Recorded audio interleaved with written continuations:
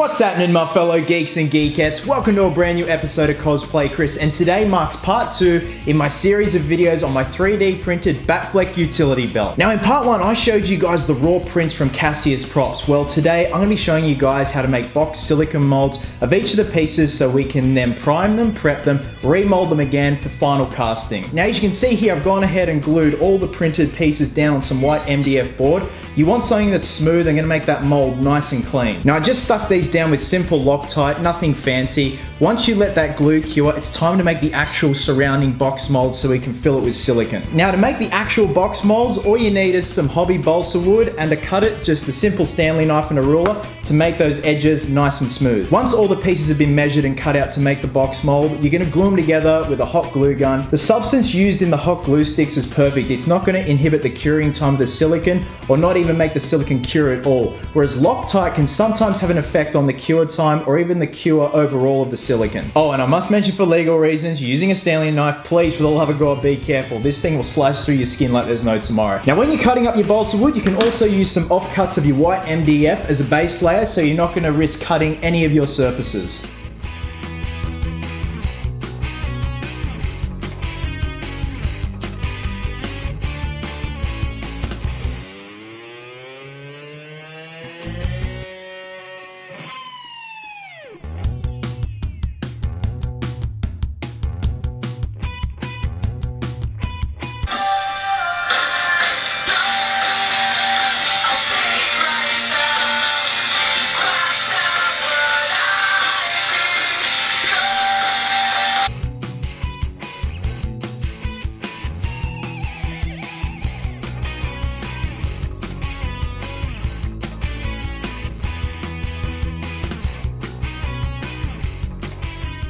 Okay, now that all five box molds have been glued together and glued in place on the MDF, it's time to make the actual silicone molds themselves. Now the silicone I'm gonna be using is Pinkysil. It's fast curing, it's reliable, it's easy mixing, it's 100 to 100 mixed by volume or weight, so it is so simple to use. Now I'm gonna be measuring out by weight, so I do have the scales here, and of course use gloves and wear some shitty clothing, even though I'm wearing my good taco shirt, because if you get silicone on your clothes, it is not gonna come off. And also mixing by weight reduces reduces the use of plastic cups because you don't have to use two cups at the same time, pour one in, and then you have to turf the other one. You can just use one, measure it out in equal parts. Now, of course, once you've mixed the silicone up, we're just gonna pour it in each of the molds. We're probably gonna have to do a couple of batches because there's a lot to pour in here.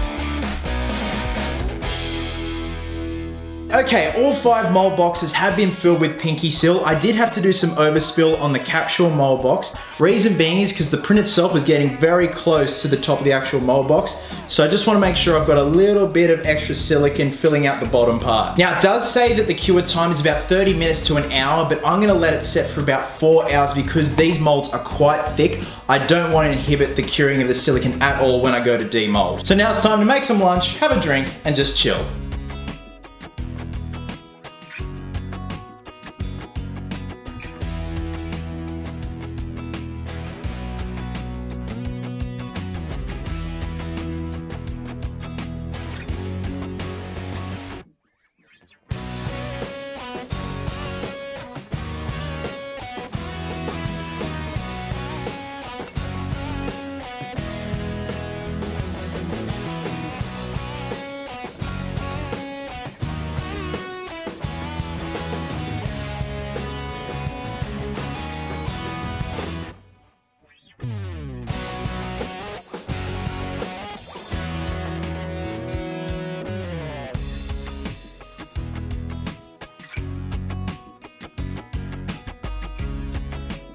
Alright geeks, here's where we're at. Everything has been demolded and I just want to reiterate that these are the first set of molds.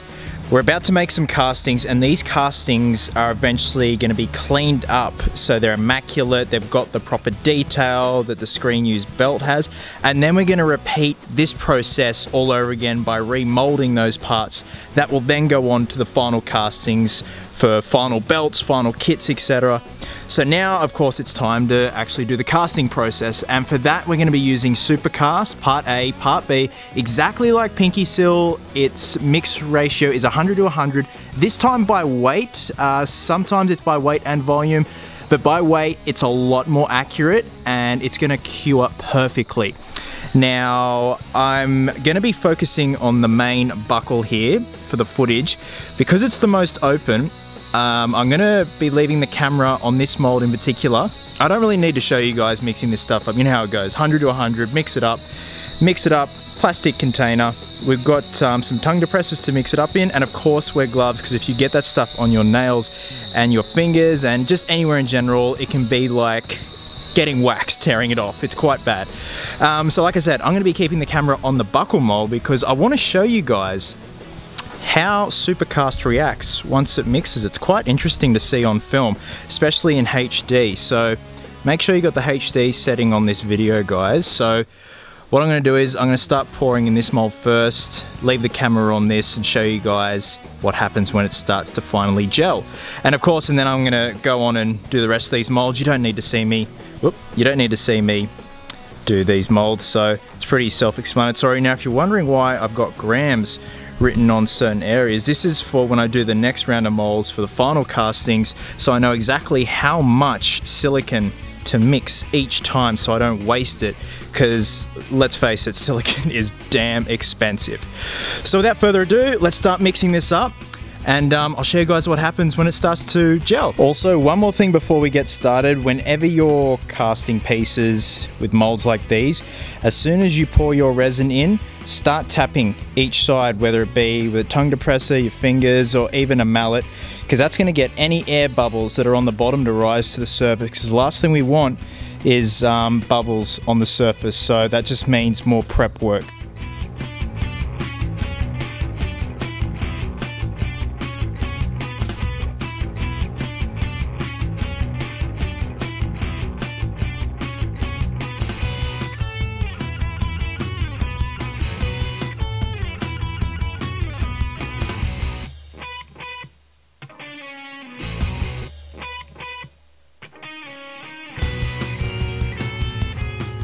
Alright geeks, all belt component pieces have been demolded. Now I've come to the conclusion that I'm going to leave the side clip for the buckle as is, so the mold that you saw me make for this will be the final mold for the actual final belt. There's no real cleanup required. I'm happy with how it looks as a casting, so as far as I'm concerned, that is done. Now, as we can see here, especially the buckle, there's a lot of patchwork required because of the seam here. This was printed in two separate pieces to prevent warping. And for that, we're just going to be using Selleys Plastibond Bog, which is a two-part mixture which includes a hardener. and we're just going to be smoothing it over the seam here and then we're just going to be blending that in with some sandpaper. Say hello, Dad. That's my dad, everybody. And he's Fred Flintstone boxer shorts. Um, so we just got some sandpaper here. This is a higher grit, and then we go down to a finer grit, obviously. So we get a nice glass smooth finish for all the pieces. Now, comes to the actual pouch components. So we've got the pouch itself and the lid.